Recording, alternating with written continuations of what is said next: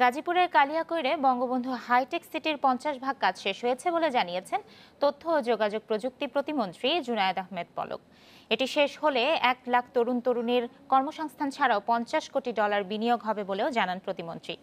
বুধবার সাংবাদিকদের তিনি জানান দু হাজার ত্রিশ সালের মধ্যে সিটির শতভাগ কাজ শেষ হবে। বর্তমানে তিনশো পঞ্চান্ন একর হাইটেক সিটির সাত একর জায়গায় টিআর ফোর মানের একটি ডেটা সেন্টারের নির্মাণ কাজ সম্পন্ন হয়েছে। এছাড়া সাতানব্বই একর জায়গায় আঠারো জন বিনিয়োগকারী কারখানা নির্মাণের কাজ করছে বলেও জানান পলক।